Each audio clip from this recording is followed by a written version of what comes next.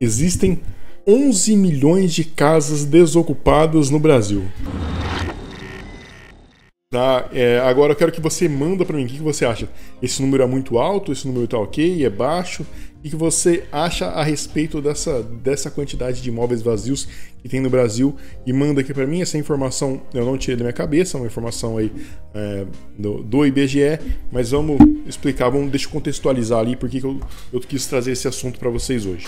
Vamos lá. Recentemente aconteceu ali o censo né, o censo demográfico aqui no Brasil. Então, o IBGE, Instituto Brasileiro de Geografia e Estatística, fez aquele censo lá onde ele vai na, na casa de todo mundo, vai fazendo as perguntas ali, com o objetivo de ter dados a respeito aí uh, das pessoas, ter os dados demográficos mesmo, né? Quantas pessoas moram na casa, a faixa de renda, a escolaridade. Né? Então, isso é importante, esses dados são importantes para as tomadas de decisões. Os recenseamentos aí são feitos há milênios, né? Se você pegar na Bíblia lá, tem o recenseamento na época de Jesus. Então, é, Jesus nasceu lá é, porque tinha um recenseamento, e José teve que registrar é, lá na cidade que ele nasceu. Então, por isso que Jesus nasceu na manjedoura lá. Então, desde dois mil anos atrás tem esse tipo de coisa, né, com o objetivo aí de colher informações, e agora não é diferente. O último censo que uh, tinha acontecido aí, que a gente tinha, foi de 2010. Então já tinha mais de uma década aí que, uh, que que aconteceu esse censo, nossas informações estavam relativamente desatualizadas, né? Então, como que era feito? É, tinha uma estimativa a partir do censo de 2010. Então existia uma estimativa de quantas pessoas tinha no Brasil, existia uma estimativa de quantas pessoas tinha nas, é, nas cidades, mas isso baseado lá no censo de 2010. Então, a, entre a estimativa e a realidade tem uma, uma pequena diferença, tanto é que a estimativa de a, a, população brasileira nesse período uh, era que tivesse algo em torno de 211, 210 milhões de habitantes, né? Mas o censo constatou que não. O Brasil aí tem hoje é, 203 milhões de pessoas. É bastante gente, tá? mas é menos do que se esperava, é menos aí do que o, o pessoal tinha estimado durante esse período. Então, a população continuou crescendo, que isso é um ponto importante para a gente, tá? Investidor. A população continuou, continuou crescendo, mas ela cresceu num ritmo menor do que vinha acontecendo até então. Então, ela vinha numa crescente, ela desacelerou o ritmo de crescimento. Né? Se bem que nesse período de 10 anos aí, né, desde 2010, onde teve o último censo, né, o censo anterior, até 2022, além de 12 anos aí, a gente teve um periodinho entre 2020 e 2022 que aconteceu algumas coisas aí que deve ter contribuído aí para a população não ter aumentado tanto assim, tá? Então, é, tem mais esse fator aí para a gente levar em consideração. Mas o fato é que a população brasileira cresceu. E por que, que eu estou trazendo isso? Né? Primeiro que né, eu sempre falo aqui que os imóveis eles valorizam. Né? O simples fato de você comprar um imóvel já é um bom investimento porque os imóveis valorizam e eles valorizam por causa da demanda, lei de mercado. Tem muito mais gente demandando o imóvel do que gente é, é, ofertando esse imóvel, tendo imóvel para vender. Né? E esse fator faz com que o preço dos imóveis subam. Mas Jorge, você fala isso e agora com esses 11 milhões de casas vazias no Brasil.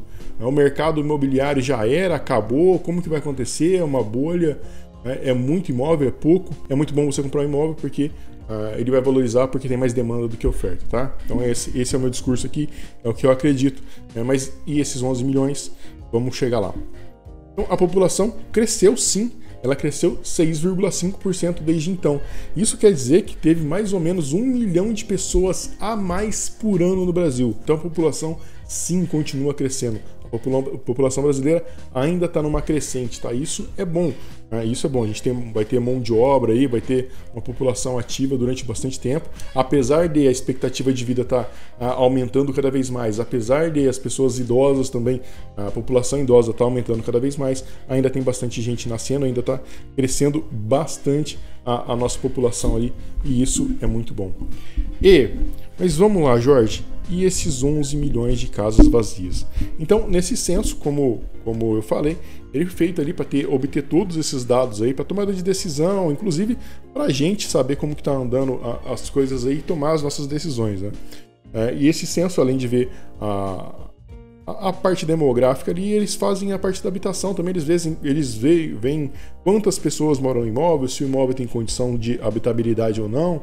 Eles veem ali o nível de escolaridade, a, a, a faixa de renda da, da, população ali, a faixa etária. e se tem ou não gente morando nos imóveis. E nesse censo aí foi constatado que 11 milhões de, habitações estão vazias, tá? Vazias, o que, que significa vazias aí, segundo o que eu li na matéria aí, segundo o que eu li uh, do IBGE? É aquelas casas que estão lá ou para alugar, ou para vender, ou estão é, explicitamente vazias. Você vê, é, é constatado que não mora ninguém naquela casa.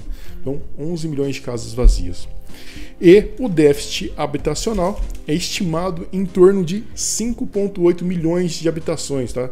É, em torno de 6 milhões de é, habitações é estimado o déficit habitacional. O que, que é isso, Jorge? Déficit habitacional. A falta de moradia. Então, a gente tem uma falta de moradia de 6 milhões e 11 milhões de imóveis desocupados. Então, casou isso aí, pronto, não tem mais falta de moradia e tá todo mundo feliz. Ah, mas não é assim que funciona, né? Não é assim que funciona. Vamos lá, por que, que não é assim que funciona, Jorge? Porque a demanda de habitação, a demanda ali, o pessoal que é, faz parte desse déficit habitacional é o pessoal que demanda uma, uma moradia popular. É o pessoal que demanda aí uma moradia mais acessível. Esse era o objetivo quando foi criado ali o programa Minha Casa Minha Vida, por exemplo, lá em 2009, o objetivo principal do programa Minha Casa Minha Vida era reduzir esse déficit habitacional, né? Então reduzir essa quantidade de gente aí que precisa de uma casa ou não tem. Né? E essas pessoas são quem? Quem está coabitando com alguém ali, morando de favor, morando uh, junto com outra família ali, ou quem está numa moradia muito precária ali, sem condições de habitabilidade, né? Então tem uma série de pessoas que se enquadram aí nesse, é, nesse déficit habitacional e geralmente a grande maioria delas demandam um imóvel popular, tá? E os imóveis populares eles estão em falta eles estão em falta. Ainda é necessário que se construa muito imóvel popular para atender essa demanda. Então, as chances são, as chances não, né? É, é, o que vai acontecer? Os valores vão continuar subindo, muito por isso, muito porque essa população demanda esses imóveis e não tem imóvel ofertado. Jorge, então, aonde que estão esses imóveis vazios? Né? Esses imóveis aí que não tem ninguém?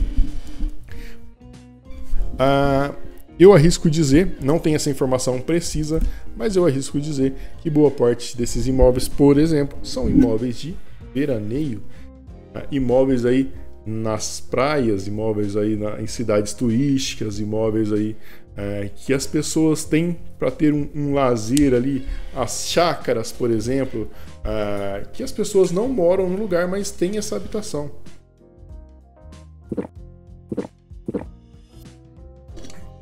Além dos imóveis que estão ali, obviamente, para alugar e vender, e nesse período eles estão vazios. Então, são esses imóveis aí que compõem esses 11 milhões de imóveis vazios no Brasil. Isso quer dizer que o mercado imobiliário está ruim, Jorge? Não necessariamente, tá? Não necessariamente.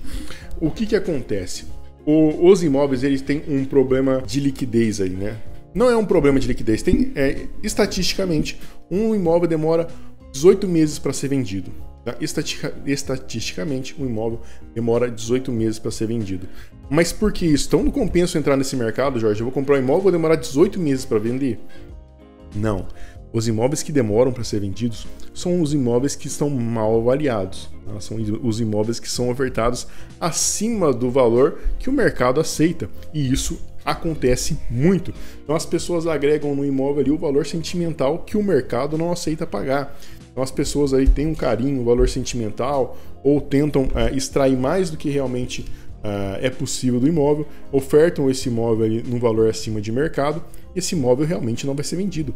O mercado não aceita, não absorve. O mercado vai pagar ali o que a média estiver valendo, vai pagar um preço o, justo ali, um preço uh, parecido com os imóveis que estão sendo comercializados na mesma região.